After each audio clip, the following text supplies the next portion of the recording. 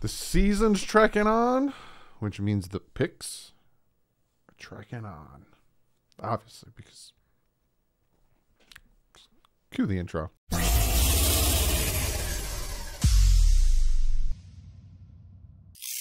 What is up, football fans? Week 10 of the NFL 2021 season coming at you with the picks. Real quick before we jump into the picks, tell you where we're at when it comes to records and all that good stuff. Have to shout out today's sponsor and what the picks are now presented by, and that is mybookie.ag. Be sure to go over, check them out. You can bet anywhere, anytime, anything. Use the promo code do wrong and it you receive double your first deposit. So again, go over, check out mybookie.ag, bet responsibly.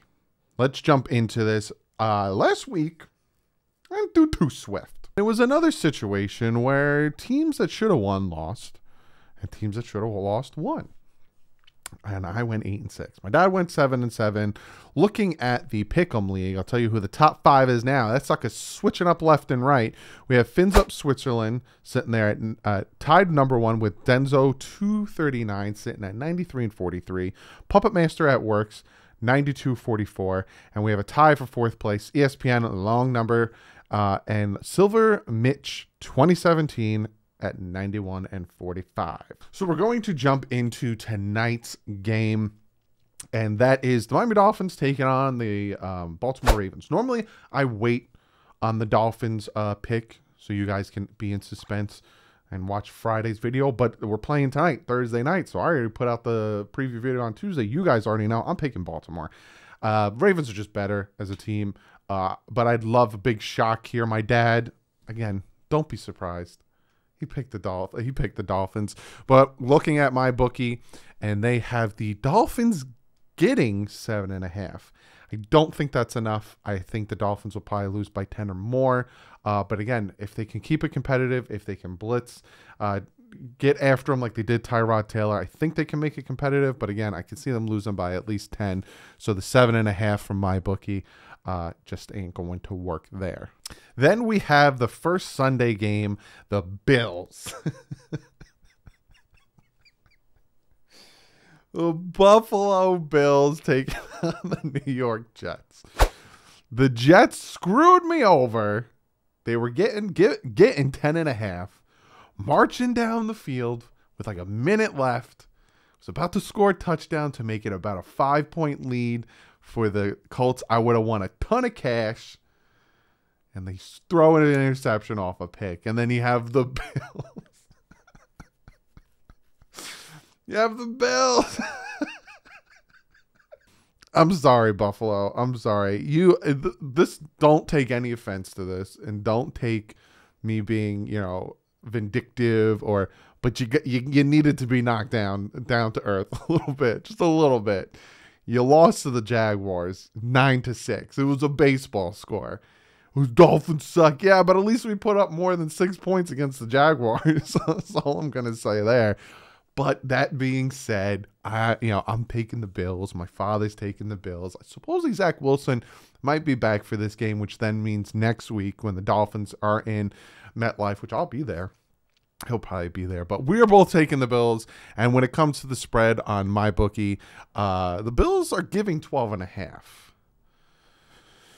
I might take the Jets in that one, but in all honesty, the Bills might be real pissed they might be real pissed that they lost to the Jaguars and might try to just destroy the Jets.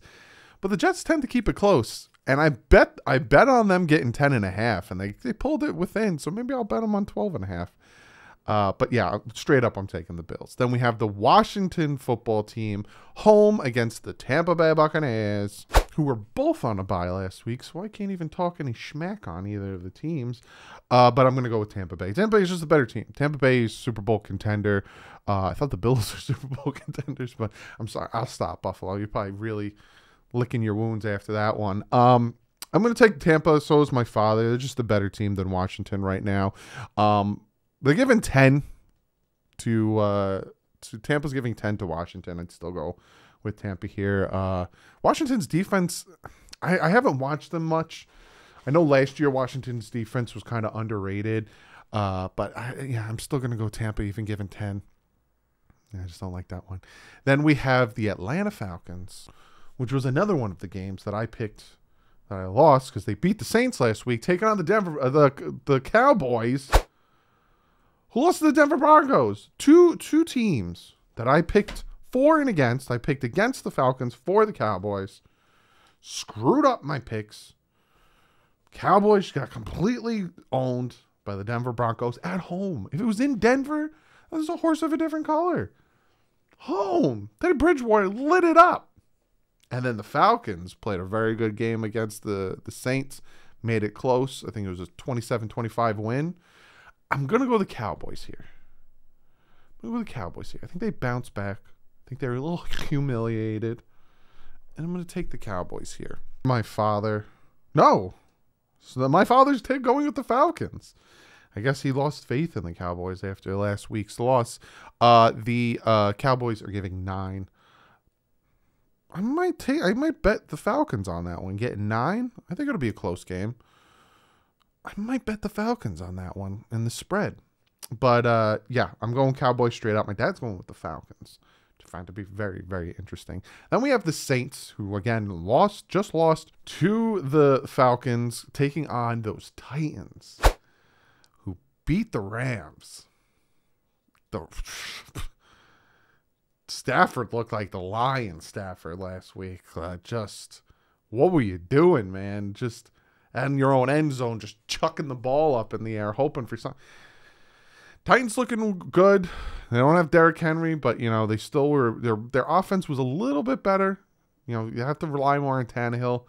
Um, they got Adrian Peterson. I am actually going with Tennessee in this one. I like the Titans in this one. My father also likes the Titans in this one, and the Titans are giving three. So I'm still. I think it's gonna be a touchdown uh, lead either way you go. So I'm still going to go with the Tennessee Titans in that one. Then we have them Jacksonville Jaguars coming off a red hot win against the Buffalo Bills, taking on the Colts, who beat the Jets. Uh, they beat the Jets. That's all I'm going to say. I'm going with the Colts in this one. And my dad's going with the Colts in this one. We think that Jacksonville just got, maybe they got lucky. Maybe they just caught the uh, Bills off guard. But we're both going with the Colts in this one. And the Colts are giving 10.5 to Jacksonville. I know Trevor Lawrence is dealing with an injury. I'm probably still going to go Indy, even with the 10 and a half, because I went with the 10 and a half to the Jets, and that bit me in the butt. So I'm still going to go with the um, the Colts in that one. And again, if you guys want to know where the flip are you getting these spreads from, my bookie AG. That's what the picks this week are sponsored by and presented by. Then we have the Detroit Lions, who have yet to win a game, sitting there in 0 8, taking on the Steelers. Steelers were down and out now they're sitting at five and three. They're doing pretty well. Najee Harris breaks my heart. Doing fantastic for him. I'm going with the Steelers. My father's going with the Steelers. And when it comes to the spread, I, I don't even I'm pretty sure the spread is pretty ridiculous for the Steelers. They are giving only eight and a half. I'm still going with the Steelers. I think the Steelers are gonna win more than more than eight and a half. So Steelers all around. Then we have the Cleveland Browns who just just completely owned those Cincinnati Bengals. That score was just ridiculous, taking on the New England Patriots. I'm actually going with Cleveland in this one. My father is also going with Cleveland in this one. Uh, I just like the way their offense is. I think they're super dangerous in their defense. Um, I like the way they're playing. And the Patriots, you know, don't knock the Patriots. They're sitting at five and four. They're struggling a little bit in the beginning of the season, coming back, making some good plays, playing well. New England Patriots, uh, but I'm going with Cleveland and that one. And when it comes to the spread, on my bookie, the uh, Browns are getting one and a half. So it's it's straight up. So I'm still going with Cleveland, even against the spread. I tend to not like to bet. You could tell me if I'm wrong when it comes to betting certain spreads, but when they get about one and a half or anything around like three, I tend to not bet it. Maybe I'm dumb. I like to go for the bigger spreads, and if I think it, they can, you know, I feel like there's more of a payoff there. You can teach me more about that stuff. I'm new to that. Then you have the Minnesota Vikings who went to overtime with the uh, the Ravens barely barely lost that one, taking on those Los Angeles Chargers who barely beat the Philadelphia Eagles. I am going with the Chargers. My father's also going with the Chargers. I like that the Chargers took the Ravens to overtime, and a few teams took the Ravens to the overtime. Makes me a little promising for tonight's game. Uh, but my dad, like I said, also taking the Chargers. Chargers are giving three. So again, it's another situation where I think uh, Chargers are going to win by more than that. Then we have the Carolina Panthers, who didn't do too well against those New England Patriots last uh, week. I will say Stephon Gilmore getting a pick on Mac Jones is poetic. Uh, taking on the Cardinals, sitting there at eight and one, still you know that one loss to the Packers. It's going to be. I'm taking the Cardinals to to win this one. My father's also taking the Cardinals to win this one, and they're getting ten and a half. The Cardinals. Uh, I mean, the Cardinals are giving ten and a half to the Panthers. I still I I have no confidence in um, their quarterback, Sam Darnold. For some reason, my brain shut off on what his name was. So I'm still going with the Cardinals, even with the spread. Um, in that one. Then we have the Philadelphia Eagles, like I said, barely lost to the Chargers, taking on the Denver Broncos, who put a whooping, a whooping on that Dallas Cowboys. I'm going with the Broncos. My dad's going with Philly. I guess he thinks that was all um, a dream reading Word Up magazine. How you doing?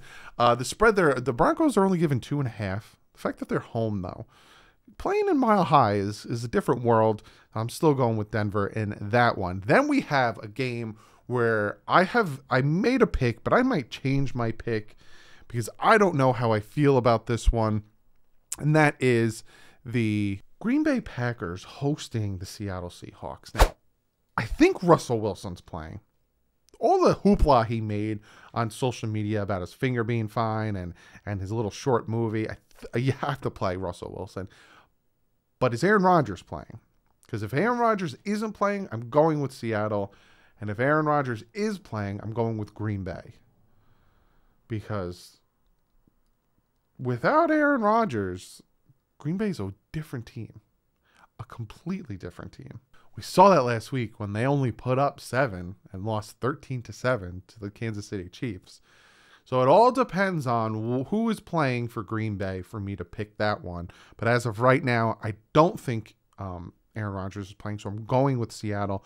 My dad is going with Green Bay. My dad, when he's torn, tends to like to take the home team, and Green Bay is only giving three to Seattle. So again, to me, it all depends on I don't know what I'm doing with my pen there. Then we have the Kansas City Chiefs, like I said, just came off a, a victory against Green Bay, taking on those Las Vegas Raiders who just have a team filled with people that just. I'm just to leave it at that. I'm going Kansas City in this one. I think Kansas City's going to have a bounce back here. I think Kansas City is slowly going to turn, try to get back into first place in the West. Uh, my dad is going with Raiders, and on my bookie, the spread is only two and a half. So even in that aspect, I will be taking Kansas City if I was a betting man. And then the final game, the Monday night game, those Rams lost to the Tennessee Titans, taking on the 49ers, who are struggle bus city. Me and my father are both going with the Rams, and the 49ers are give are getting four points from the Rams.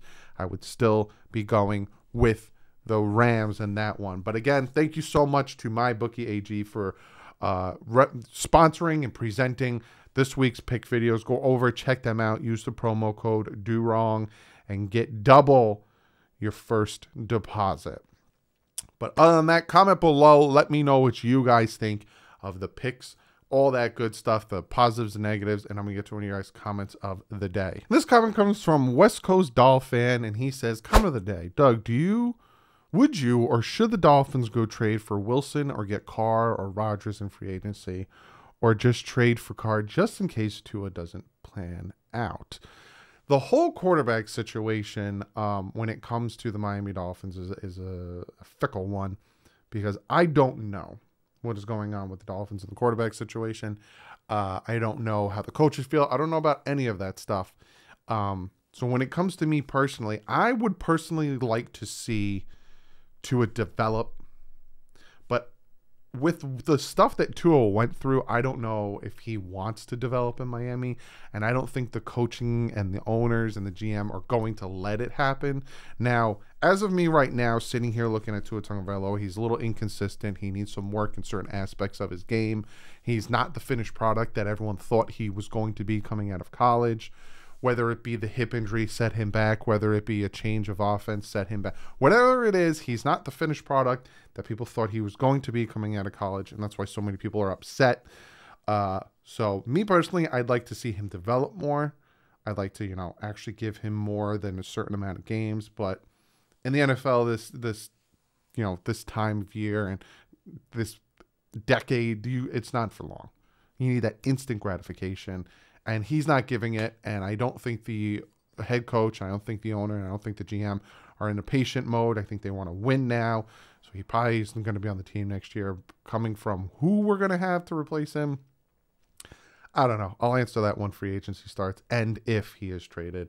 Uh, but me personally, I like to see him, see what he can do. But thank you so much for the comment, West Coast Dolphin. If you guys want to be part of comment of the day, just in below comment of the day. But I will see you guys later tonight. This video is going to come out earlier in the day. I will see you guys later tonight with the live stream of the Dolphins taking on the Baltimore Ravens. We'll go on MyBookie AG and make a bet before the game starts. So I can, you know, they're also sponsoring the live stream. So I will see you guys later tonight. But like usual, guys, stay classy. Have fins up.